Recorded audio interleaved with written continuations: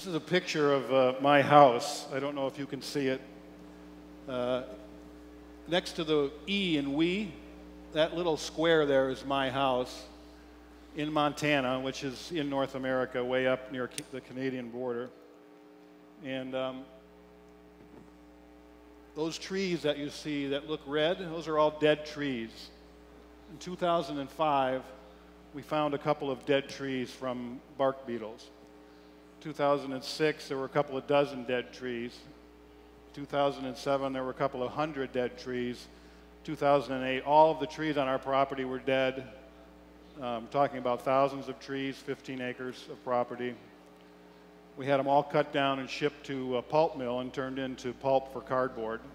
And we now live, except for a few trees around our house that we've sprayed, we now live in the prairie.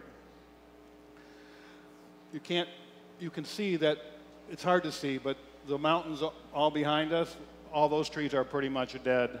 The trees all around this part of Montana, many of them, lodgepole pine, ponderosa pine, are dead. Colorado, Wyoming, trees have been dying in, by the millions in the last 10 years or so.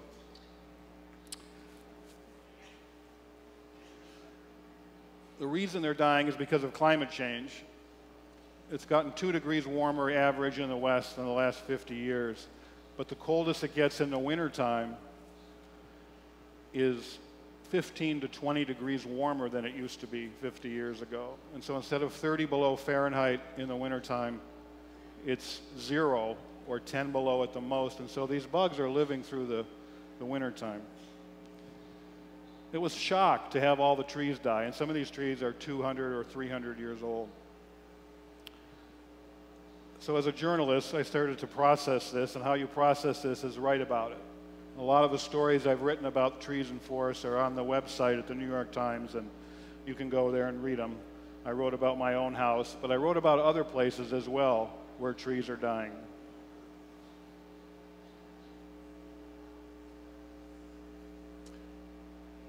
This is a bristlecone pine. These are my kids. They went with me to see bristlecone pines in um, Nevada couple of years ago.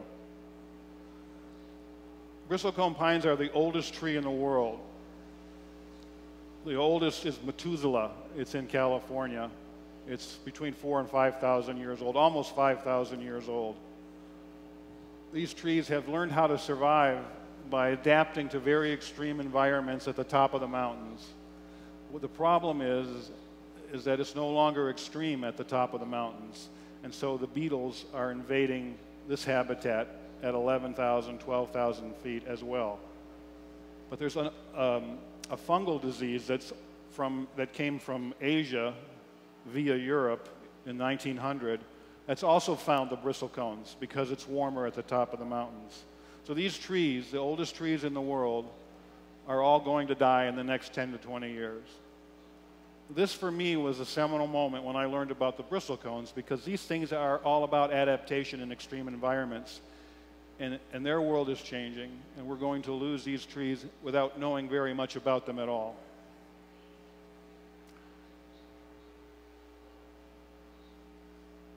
It was a sobering, sobering moment. So the question is why should we care? Why should we care that trees might be dying? Well, it turns out every scientist I talk to, when I ask key questions about trees and their dying and their importance, said, I don't know. There's a lot of things we don't know about trees. It turns out that trees have been poorly studied. And it's kind of amazing to me. You can look out the window and see a tree, and almost, almost nothing is known about that tree because they simply have not been considered that important. They understand timber production, they understand some other key things, but a lot of what, a lot of things about trees are simply not known. But what we do know is they're going to be critical. They're, they're critical ecological infrastructure for the planet in a lot of different ways, for us and for other living creatures. First thing, of course, as it gets warmer, six degrees warmer over the next century, they're going to be critical as a heat shield. You want to live in a city that has a lot of trees, or you want to live in a city that has no trees, because the urban heat islands of cities are going to be very warm without something to keep the sun from burning down onto the asphalt and concrete in cities. A lot of cities in the U.S., and I presume other cities in the world, are, have million tree campaigns to add trees, to add to the urban canopy, which is, I think, going to be really important. They also block ultraviolet rays. They prevent cancer. Uh, reduction is, varies, but from tree to tree, but they're critical in terms of shielding us from ultraviolet rays.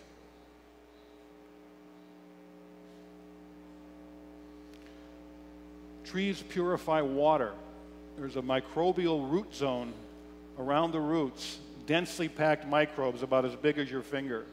And these trees, when they take in water, these microbes, in exchange for sugars that come from the tree, they clean that water. And of course, it goes into the tree and into the atmosphere. And so, trees, these microbes not only clean the water for the trees, they clean the water for us. Some Winnie spoke yesterday about the um, forest of, of New York that was left intact in order to clean water for New York City. It's a critical function that trees play. In fact, that, that action is so robust that they use willows and aspen, aspen trees in phytoremediation, which is going to toxic waste sites, planting willow and aspen trees and cleaning up everything from TNT to um, dry cleaning solvents, even some radioactive uh, materials. Trees can clean that up. Uh, it's an astounding fact when you realize trees are filtering everything that goes through our system. They can clean up endocrine disruptors, which are those little things that are, are um, likely carcinogens in our system. Trees, there's huge problems with dead zones in the ocean because of fertilizer runoff. You can't treat all that water that runs off of farm fields, so you have to farm your way out of it by using trees. It's not being done yet, but it's one way that trees could be used to clean the planet's water. Lots of ways that we know, these are things we know about trees, they're just not being used this way. Trees are being used in Africa to reclaim desertified land. Millions of acres, millions of hectares of land have been reclaimed by allowing trees to grow, to take nitrogen, to fix nitrogen from the atmosphere in their leaves, to drop those leaves onto the ground and become a fertilizer. There's a World Agroforestry Center in Kenya that is using this technique to reclaim millions of acres of desertified land in Africa.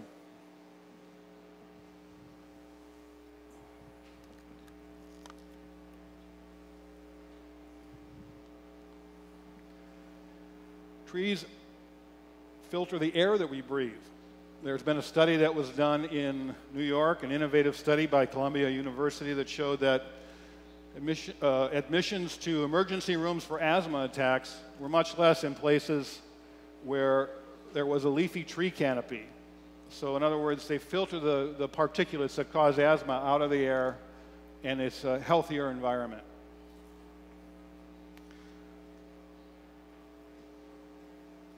Trees prevent flooding. They, they take water, they keep it from running off. Um, the, the Philippines had the floods that uh, we talked about yesterday. One of the reasons is because of deforestation. One of the reasons for the flooding of the Mississippi River in the U.S. is because of deforestation. 90% of the emergencies in the U.S. are because of flooding. And part of that is because of we've deforested much of our country.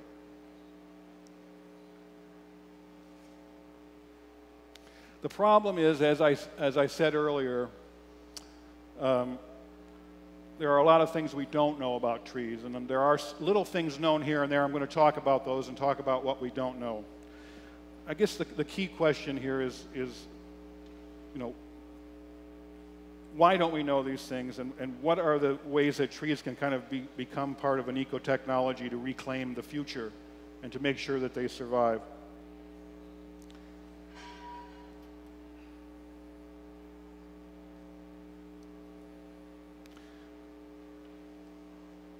One of the key things for me are the aerosols that trees emit. One of the key aerosols is isoprene, which also became rubber. But in the, in the um, boreal forest, um, that same emissions may cool, help cool the planet in the summer because the trees, when it's warmer, emit more isoprene, which blocks the sunlight. And so that may cool the planet. And in the wintertime, there's less isoprene, so it allows more sunlight through. This is one of the things we don't know. There's speculation. Some scientists have studied this. I interviewed a lot of, a lot of scientists for my book, The Man Who Planted Trees, and again, they all shook their heads about, well, here's what we think we know, but we're not really sure. But this is one of those areas, these aerosols. But another key uh, aerosol role is in willow trees. Uh, there are a lot of medicinal compounds that come from trees. We've all, all heard probably about Taxol, which is a treatment for breast cancer, it came from the yew tree. It also, trees also aerosolize this same compound. But one of the, I think, most important aerosols might be acetylsalicylic acid, which is where aspirin came from. Willow trees, there's three to 400 species of willows around the world emitting this compound and taking water through its system and treating this water, in essence, with this compound, which is shown to prevent several different kinds of cancer in very good clinical studies, shown to prevent heart attacks, shown to prevent strokes. And those are the things they've looked at. So, as this water is absorbed through these willow trees, it's being treated by this compound. The question is, and this has not been studied, is does this somehow have an impact on the fish that live in the streams? Does it have an impact on the wildlife that drink the water? And does it have an impact on us? Is this a way, nature's way of maintaining health in the biosphere is through this disinfectant, through these chemopreventatives? But there's a whole range of things from perillyl alcohol to limonene, uh, methyl jasmonate. These are all compounds shown to be effective anti cancer agents, disinfectants, antibiotics, antifungals. But it is not a very well studied area at all. Willow trees are also being used, as I mentioned earlier, to clean up waste. They're, in Sweden, there's a village I can't pronounce that uses uh, willow to treat all of their sewage. They have a big willow farm, they put their sewage there, it takes up the, the sewage, processes it, cleans it through phytoremediation. and they harvest the willow trees, chip them, and use them for biofuel to, in their electrical plant. This is also wildlife habitat. This willow farm is also uh, can be used to grow food around the edges.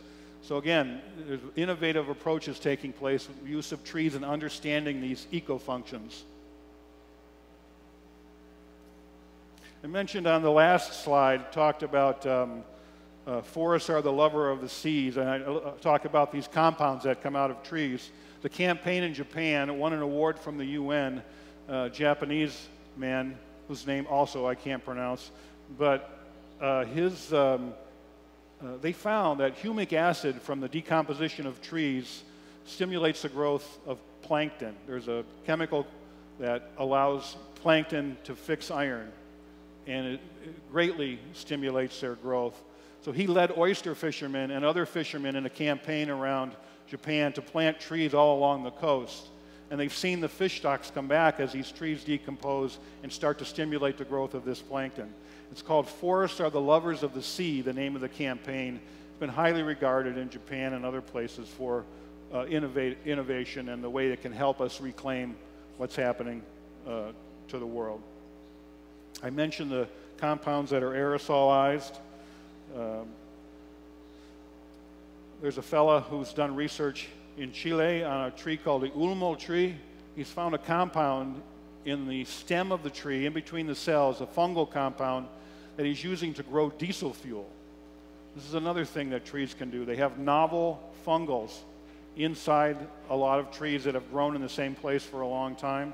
And he's found that some of these have antibiotic properties, and, and one that he's experimenting with in Montana, he's found um, can be used to grow diesel fuel. It's experimental at this point, but I saw a bottle of diesel fuel that he has on his desk that he's used uh, to grow from this fungus that he's found in trees.